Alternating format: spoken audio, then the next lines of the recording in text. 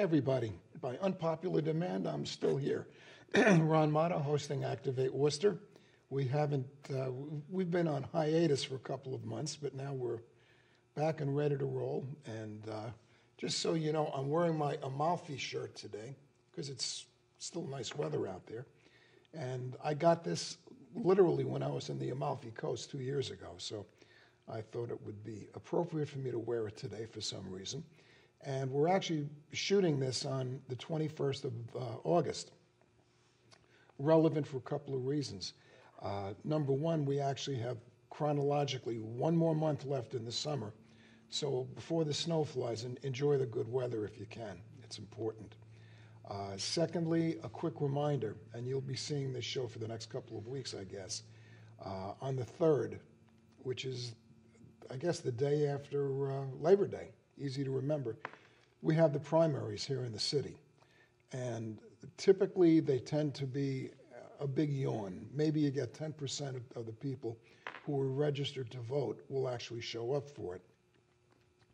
But there's you know quite a few races that are in contention, and it's a good idea to get out and uh, and vote. It, it, it's a simple process. You'll be in, you'll be out in you know two minutes. The lines won't be there at all. And don't just wait for November 5th, which of course is the big one. Uh, this leads into that. So, you know, do your civic duty, if you will. I think it's uh, a very important thing to do. But that being said, uh, our show tonight, we have a single guest and a very good guest, and a lady that's been with us many, many times before. And she's very involved in the city, very involved with the kids, with the schools. In fact, she ended up running for the school committee, which was a, a battle royal, and uh, she ended up winning. Unbeknownst to uh, the powers that be, who want things just stay exactly as they are. Well, she doesn't want that. She wants things to get better for her kids and for all kids, and that's why she's here tonight, okay? And I am more than happy to welcome Kathy Roy back to the not so golden EIB microphone. and uh, welcome. I'm glad thank to, you for glad to thank see you for having me. Anytime, as you know. And I guess going back, I've known Kathy for, for quite a while, and she's always been involved. And I guess the question is, why did you decide? What were, what were the factors? Why did you decide to run for the school committee?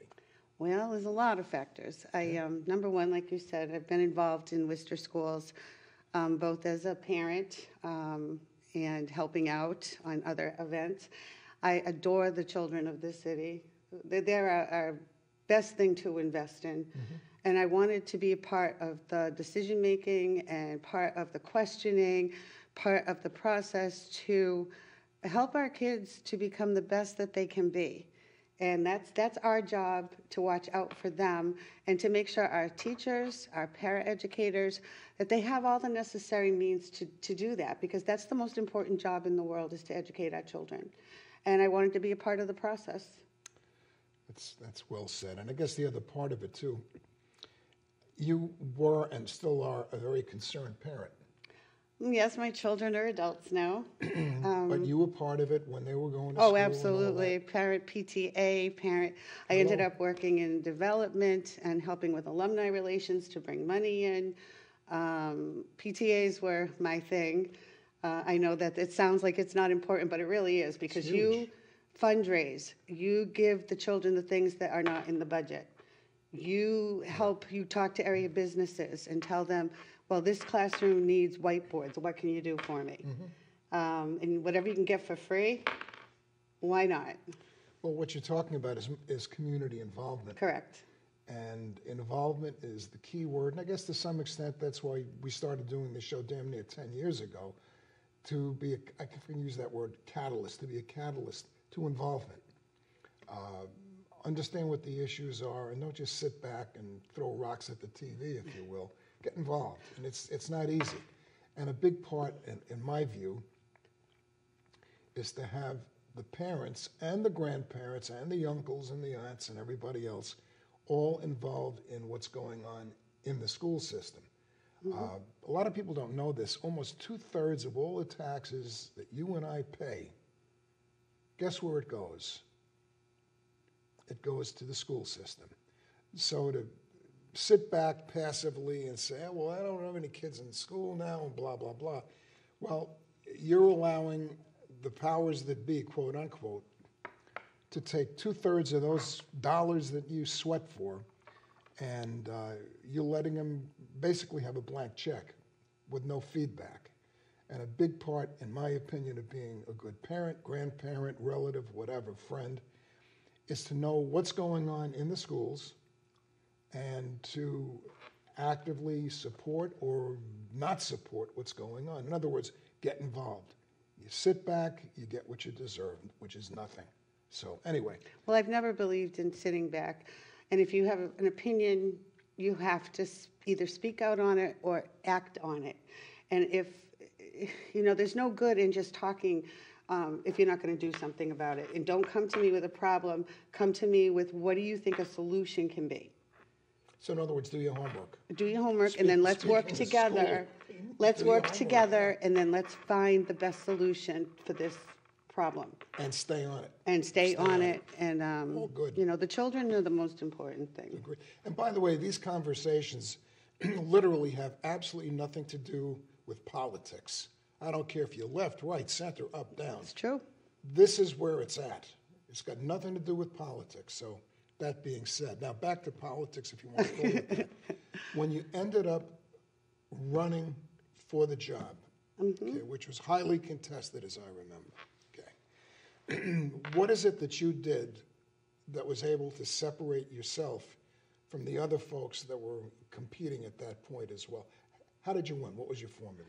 I you had do? an amazing team and wonderful, I have mentors. I have been involved in the process of, of helping candidates run. Um, the, it, it's getting out there, it's talking to people, um, the door knocking. It's, it's um, 100 to 200 doors I try to do every two to three days. And that seems like a lot. But when you have a team, and I had a wonderful team of 30, 20, 30 people, and that's what we did. We went out, we door knocked, we met with people.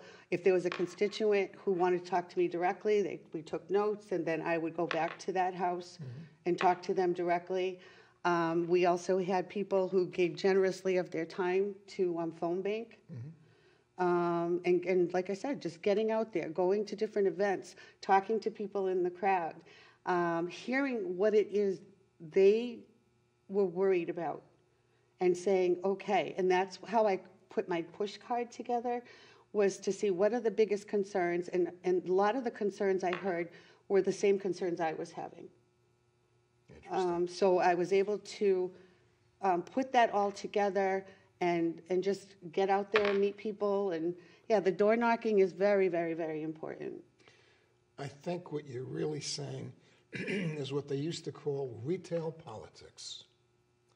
Uh, just everything that you said, getting out there, shaking people's hands, introducing yourself, telling them who you are, A, and B, what you're running for, and the reasons why, and so forth. But then it's, it's sort of like you're being a catalyst to get them involved in the process.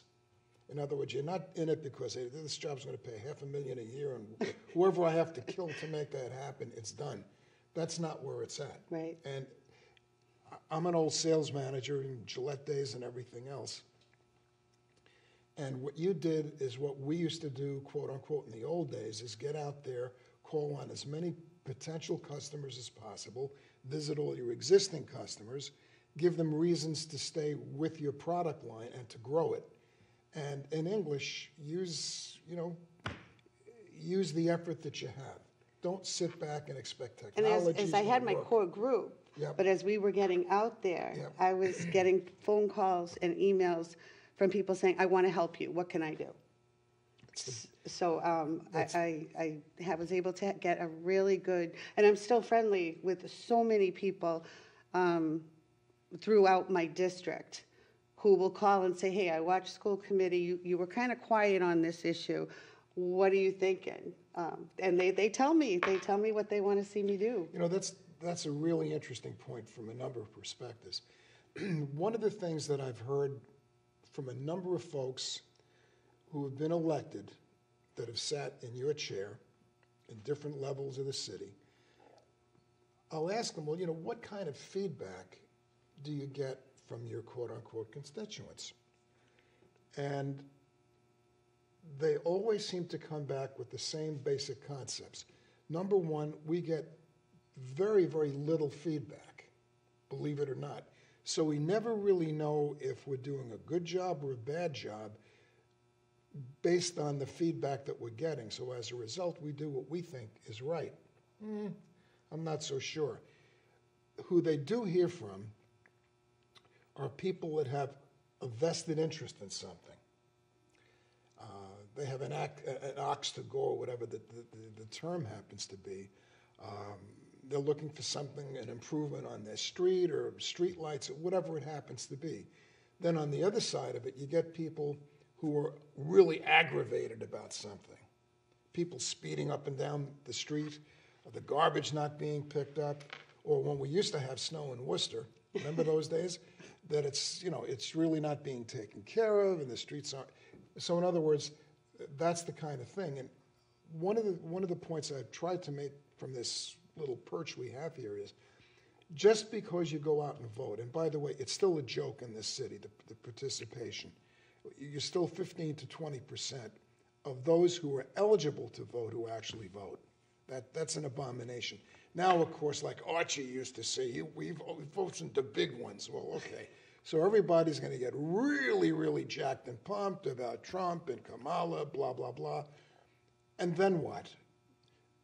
You have a problem on your street or whatever, you're going to call one of those people to help you? Forget about it. As Tip O'Neill used to say, all politics is local which means just because you go and vote, okay, your job is not done as a citizen. You should continue to provide feedback to the people who you voted in, whether you like them or not. Let them know what's going on. And this is on an ongoing basis because basically the bottom line is you're the boss, you're paying their salary. Now, if you've ever been in a position where you're paying people to do something, and you just let them do whatever the hell they want to do, well, then you're a chump. You're being used because you're lazy. Same thing with us as voters. And if you don't get back, let them know what's going on. Caveat emptor, as they used to say. Now, with, with that as a segue, you're in the, in fact, a quick background. They've changed the composition of the school committee what, what's it all about now versus the way it used to be done? Uh, that, that's hard for me to answer because I wasn't involved in the past. Um, Well, we- you had your own little district. yes, oh, that's, okay, I know where you're I'm going. sorry, yeah, I'm sorry. to Um, yeah, they changed it a couple years ago. So that the next years ago. election would be runs, running in districts.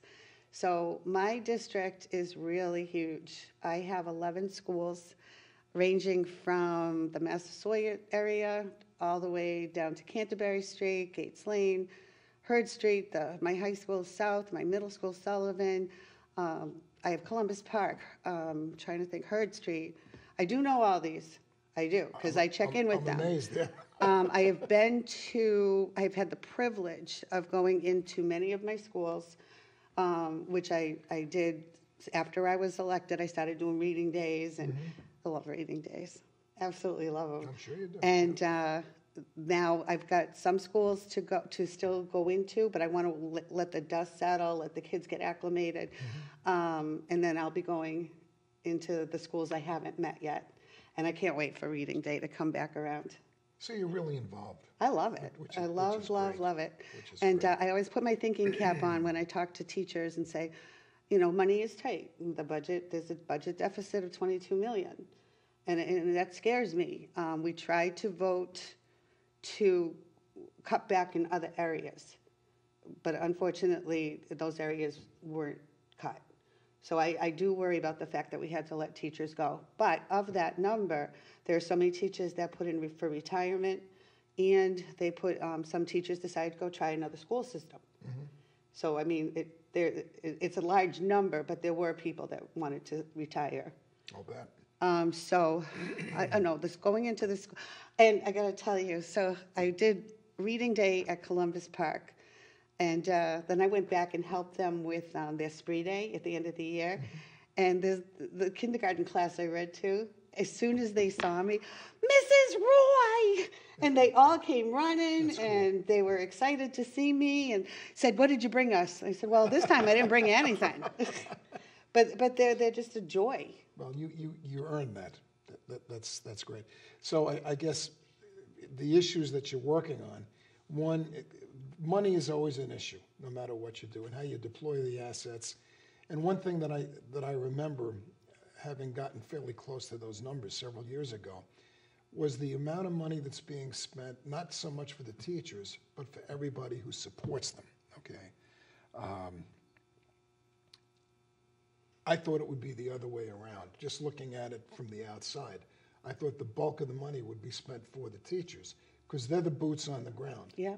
They're the ones that are interfacing with the kids, not the administrators sitting in the building.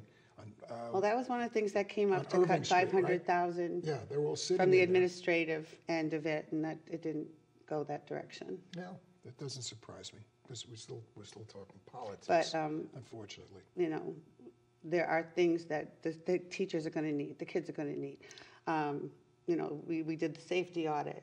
A lot of those goals were not met by the end of the school year, and because, you know, I'm just hoping they get, we can put those in priority status to, to get some of that, the more of the safety audit recommendations done. Tell me about safety, what, what's going on? Um, whole, one of the things that I'm a little nervous about, but we'll see how it plays out. You know, it's a whole brand new year. But we did cut um, the security guards, so that, that was a thirty-eight thousand dollars budget item. Um, now we're going to have. Excuse me, why was that cut? Uh, You don't need them, you don't need security guards. well, well, well, they do. But what they were was the security. If you went into a high school, you're met by a person at a desk, and you have to state why you're there, who you're going to see, and that's still they're still going to have somebody doing that. okay? But it's, it's gonna be not somebody with a security company, So it'll be done internally as opposed to an external person? correct?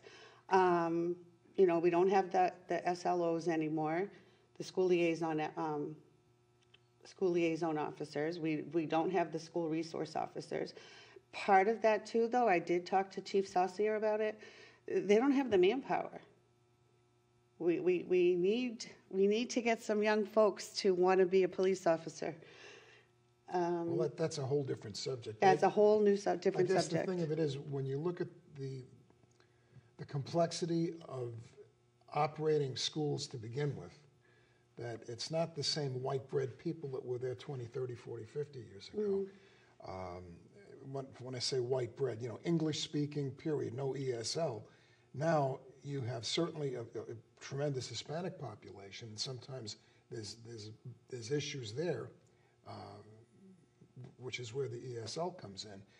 But now, and they're very proud to say, we have people in our schools from almost 100 different countries. 79 languages is what Eric Batista said in his address to the city. Might as well be 790 for all. And when I went to, I went to one event, I'm trying to think where it was. It was up at the technical high school.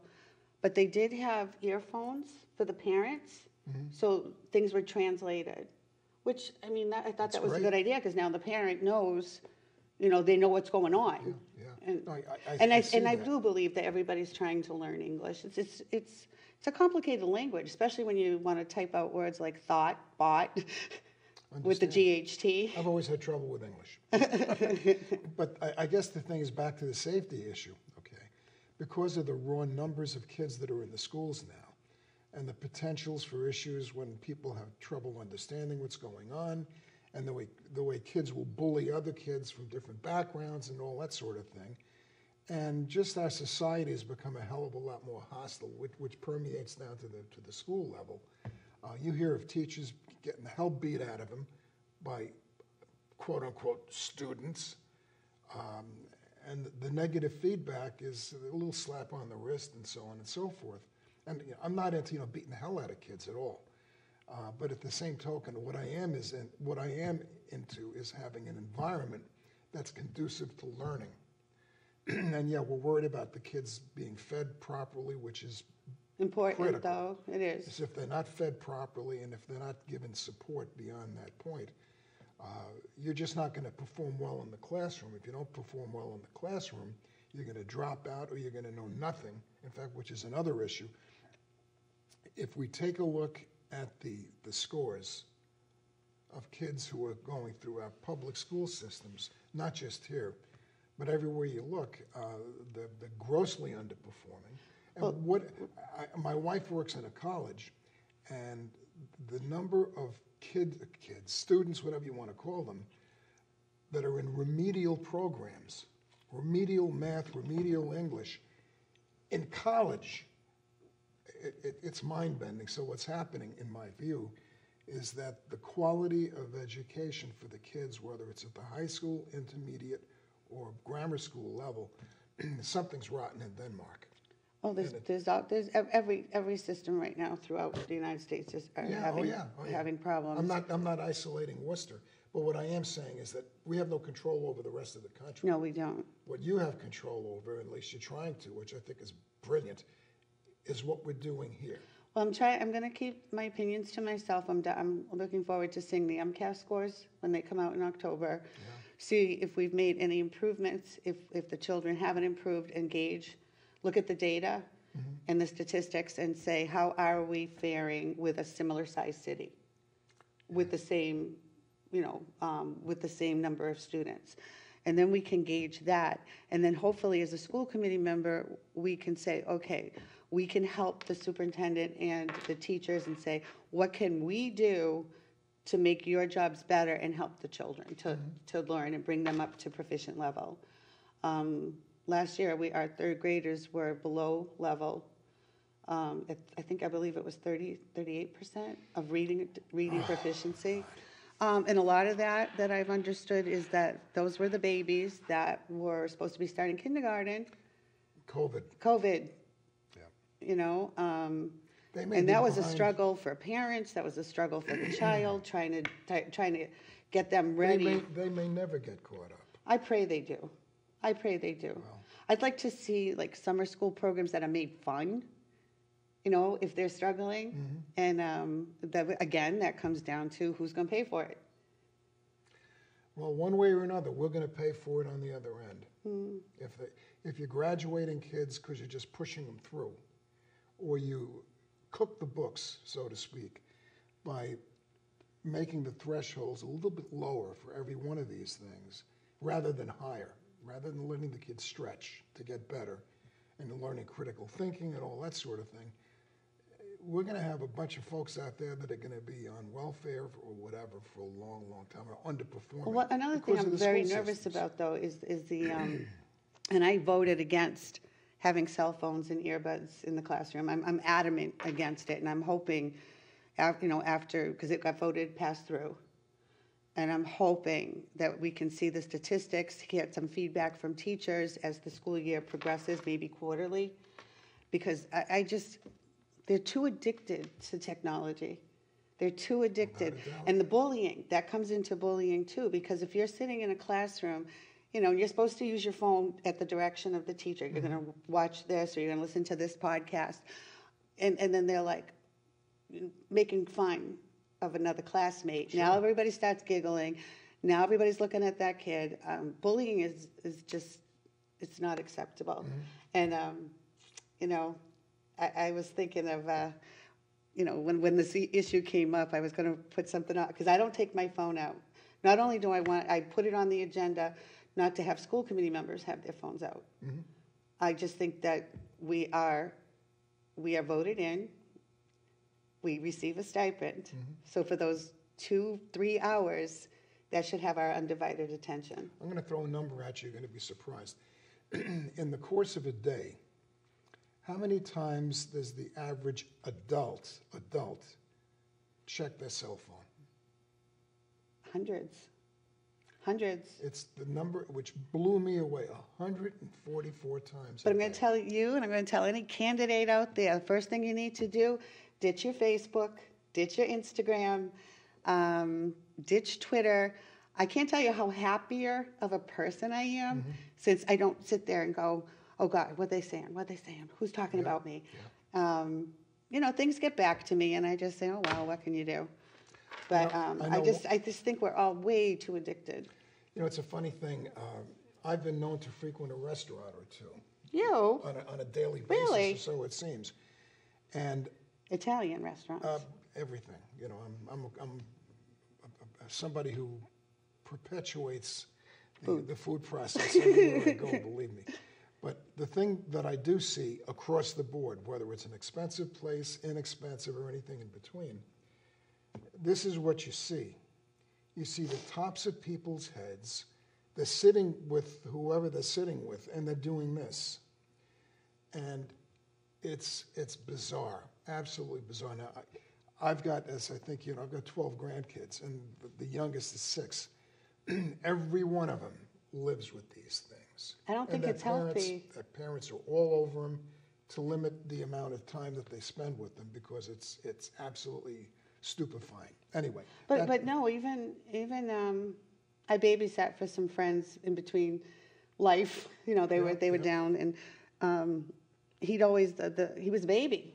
He was a year. Well, he's now he just turned sixteen. I can't believe it. But he'd say, "Kathy, I play with your phone," and I'd say, "No, you're not playing with my phone."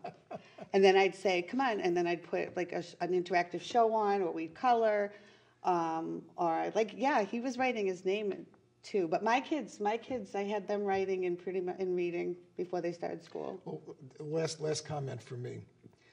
Um, in my family and my wife's family, many of them are either into teaching or retired teachers at, at different levels. And they all basically say the same thing. Teaching now is so much more difficult than it was uh, 10 years ago because the kids are so used to being stimulated on a regular basis that you can't dance fast enough or sing quickly enough to keep the kids involved. It's tough. And then they have trouble shutting down. And they have trouble shutting down. um, every uh, across this country. In fact, the same week we voted, and I, like I said, I'm adamant against it, and I always will be. Um, Gavin Newsom in California, he put a ban on cell phones in schools, Yeah. And uh, a lot of a every lot now of and communities are, and I, I, just wonder- don't understand. I wonder if it's too late.